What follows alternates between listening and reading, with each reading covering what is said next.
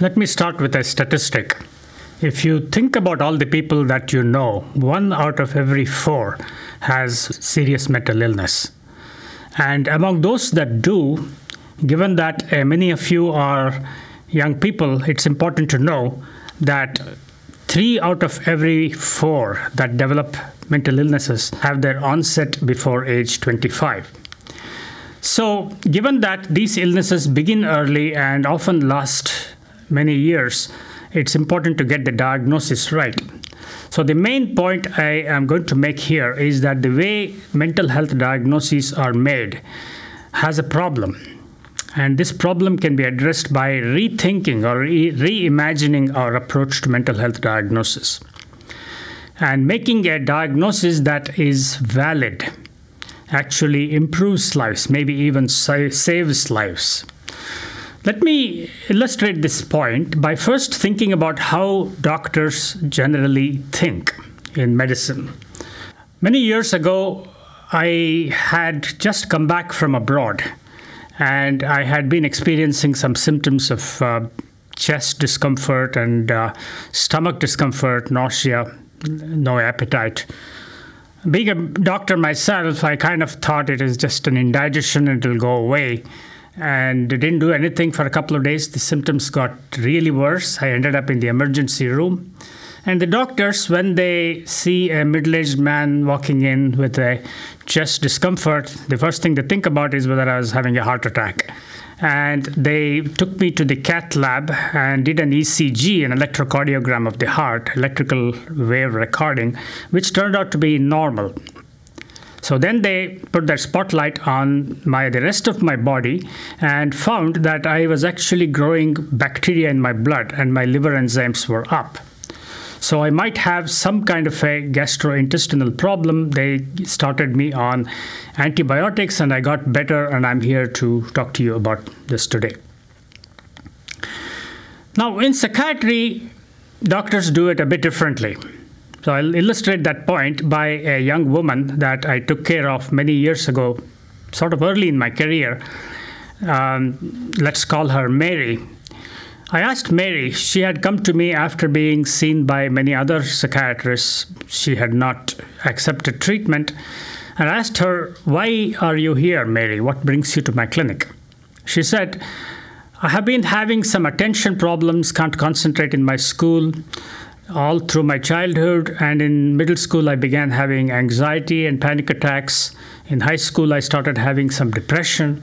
In college i began having some mood swings and over the last couple of years i have been having um, some thinking difficulties some paranoia confusion some memory problems. So i asked her mary what did the doctors tell you your diagnosis is she said initially they called I have ADHD, and then they said I have an anxiety disorder. Then they said I have a major depressive disorder, and more recently that they said I have a bipolar disorder, and last year they said I might have schizophrenia. So she then asked the question. What do you think? Uh, can you come up with a diagnosis that I don't already know? all doctors have basically been restating my symptoms in technical terms and calling it a diagnosis. So, can you prove that I have schizophrenia by a brain scan or a blood test?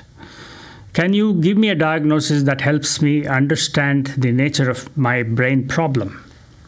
Can you tell me, uh, give me a diagnosis that tells me that I'm on the right treatment? These are sobering questions that many other patients have asked me throughout my career. Mary is not the only one.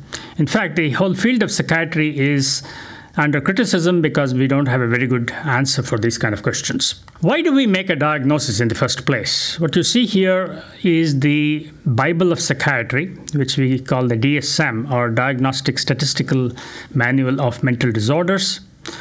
Um, this is a good document. Everybody uses it around the world uh, because the DSM gives us criteria to make diagnosis of almost every mental disorder. These criteria give us a kind of a useful shorthand so that we can communicate accurately between doctors about uh, describing the same individual with symptoms of the same kind in the same diagnostic terms, which is important. both for communication between doctors as well as for communication with insurance companies and legal people and so forth. But what the diagnostic terms in DSM does not tell us is what the underlying illness is. So while it has it is reliable and consistent, these categories may not be valid. They may not be telling us much about the underlying disease. So let me explain to you the two, um, two terms, reliability and validity, in this cartoon. On the left, what you see is this man shooting an arrow consistently to the same point on the target board, but missing the bull's eye. So it's highly reliable, but not valid. But on the other hand, on the right side, what you see are all the arrows are hitting the same spot, reliable, and also they are hitting the bull's eye, so they're valid. So the important point is that in psychiatry, we need diagnoses that are both reliable and valid. How do we move towards more validity in psychiatric diagnosis? After all, all mental disorders, one way or the other, have a relationship to something or the other in going wrong in the brain, all major mental disorders. The brain organ of the specialty of psychiatry is the brain, just like it is the heart for the cardiologists and the kidney for the nephrologists. But psychiatrists are somehow shy to look at the organ of their system, namely the brain, when they make their diagnosis. When you have a trouble with your car and you take it to a mechanic, the mechanic looks under the hood and looks at whether it's the engine is the problem or it is the cooling system and so on. This psychiatrist could do the same thing. In the last several years, there have been exciting new discoveries of different kinds of brain scans, which I have shown here in this slide, the cartoon that I drew myself. On the bottom right is the MRI scan, which gives you exquisite pictures of the structure, function, and maybe chemistry of the brain. And in the middle, what you see is the electroencephalogram, which is the just like the ECG of the head using electrodes in a completely safe manner, you can get electrical recordings of um, the brain's activity and thereby look at the functioning of the brain. Now, how can we apply these kind of tests or biomarkers, as we call them, in psychiatric disorders? Let's go back to the same kind of symptoms that I presented with if someone like me walked into the emergency room with a stomach upset and nausea and appetite, and they simply said, You have an indigestion, take these pills and go home, I would probably be dead by now. But rather than that, the doctors did an ECG, ruled out heart disease, and then uh, looked elsewhere in my body and examined my blood and the gastrointestinal system and came up with a diagnosis of a gastrointestinal infection that was causing a bacteremia, an increase in bacteria in the blood. That's the way medicine should proceed. But um, let's see how we might apply this to psychiatry.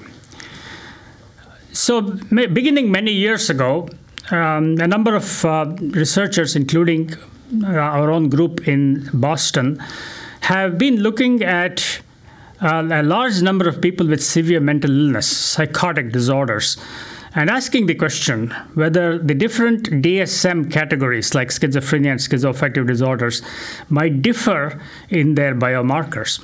So we um, examined this uh, population on whom we had electrophysiological data like EEG and cognitive test data. And we first asked the question whether the three diagnostic groupings, namely schizophrenia, schizoaffective, and bipolar disorders, showed any differences in terms of their biology. But the answer was a resounding no. All of these disorders looked pretty much similar in terms of their brain abnormalities. So we scratched our heads and took a different approach. Why not just ignore the symptoms and apply machine learning uh, to these biomarker data across nearly 2,000 people, and whether we can come up with different kinds of categories that may make more sense. And indeed, we came up with three biological categories based on sets of biomarkers, which we call them biotypes, which had no resemblance to the DSM categories that we had uh, been all along using. Why is that important? You might remember I said our patient Mary had asked the question Can you uh, take a brain picture and tell me that I have a particular disease with a particular ab- brain abnormality, and you can you prove that I have schizophrenia using brain scans? And when you look at our own scans in these data sets, whether it is schizophrenia or bipolar disorder or schizoaffective disorder, they don't seem to look different. And a particular brain structure called the hippocampus, a tiny structure which we can now examine in exquisite detail by modern neuroimaging techniques. The hippocampus, which is important for memory, thinking, belief formation, did not differ between the symptom categories of schizophrenia or schizoaffective or bipolar disorders. But if you look at them, the same structure across the three biotypes, the differences were like day and night. Biotype 1 is characterized by a prominent hippocampal abnormality, which might explain her illness. Uh, better than anybody else's um, illness. So there might be different subtypes which are different biologically. Now, our patient might ask the question how does it make a difference for my treatment? Now, when we do categorize uh, illnesses based on their biology, we also understand what the physiological signatures or physiological alterations that lie underneath these. We have discovered that biotype 1 is characterized by a diminished response of nerve cells or neurons to sensory stimulation. You can call it an underactive brain. By contrast, biotype 2 is characterized by an inefficient overactivity of these neurons in response to sensory stimuli. Biotype 3, we did not find much differences from healthy people. So it's quite possible that the biotype 1 patients might respond to treatments that enhance brain activity, like brain exercises, cognitive training. Also, some medicines like clozapine, which may increase, increase brain electrophysiological activity. In contrast, biotype 2, which is characterized by overreactive, inefficient brain, what you need are treatments that calm these nerves. It may be certain medicines like valproate, or it may be certain newer treatments, what we call neuromodulation, an example of that is transcranial magnetic stimulation, which can suppress inefficient overactivity. Biotype 3, which does not seem to show much brain changes, but still they have symptoms, it's quite possible that they may respond to smaller doses of medications. Maybe they need psychotherapy much more and a good follow up.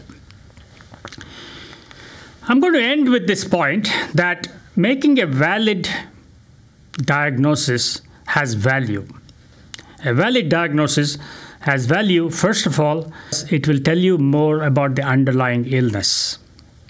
And second of all, knowing what the underlying illness is would help the doctors to discover better treatments and also to match the existing treatments in the correct way to the correct patient. In other words, personalize the treatments to the individual patient's situation. And finally, Mental health disorders are highly stigmatized. It's a major barrier in their recovery. Stigma is because quite often they either blame themselves or the society for these illnesses. But if only we knew, and if our patients know that there are certain brain circuitry alterations that can explain their illness, it is likely, very likely, to reduce stigma and improve their engagement in treatment. Thank you.